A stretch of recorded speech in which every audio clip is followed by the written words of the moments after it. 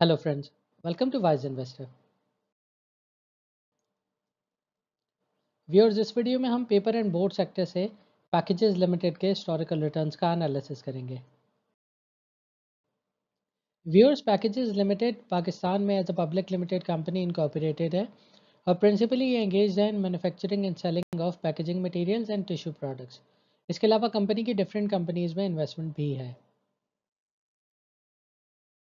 अगर हम कंपनी की लॉन्ग टर्म परफॉर्मेंस की तरफ़ देखें तो 22 साल के अरसे में कंपनी का share price low sixty rupees और शेयर प्राइस आए 965.98 रुपीज़ पर शेयर रहा है। एवरेज शेयर प्राइस इस अरसे में 512.90 रुपीज़ पर शेयर है।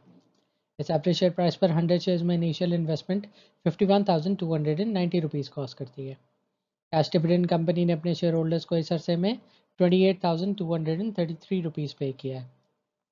और टोटल नंबर ऑफ़ शेयर सौ से बढ़कर 121 हो गया last day closing price 320.02 rupees per share पर टोटल इन्वेस्टमेंट वैल्यू 38,722 रुपीस है जो कि ओवरऑल 30.54 परसेंट का रिटर्न है और ईयर ऑन ईयर 1.3 परसेंट का गेन है शेयर होल्डर्स के लिए उनकी इनिशियल इन्वेस्टमेंट पर।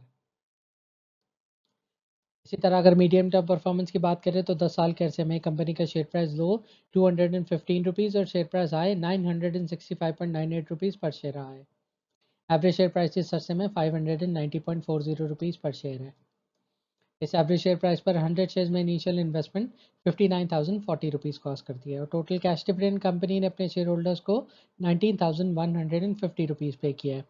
टोटल नंबर ऑफ़ शेयर्स 100 ही हैं यानी 10 साल के अरसे में कंपनी ने कोई बोनस शेयर्स नहीं दिए। Last day closing price 320.20 rupees per share पर टोटल इन्वेस्टमेंट वैल्यू 32,002 रुपीस है।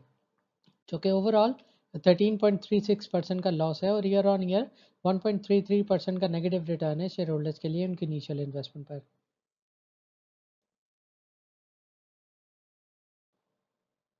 Thank you viewers thank you for watching and good luck with your investments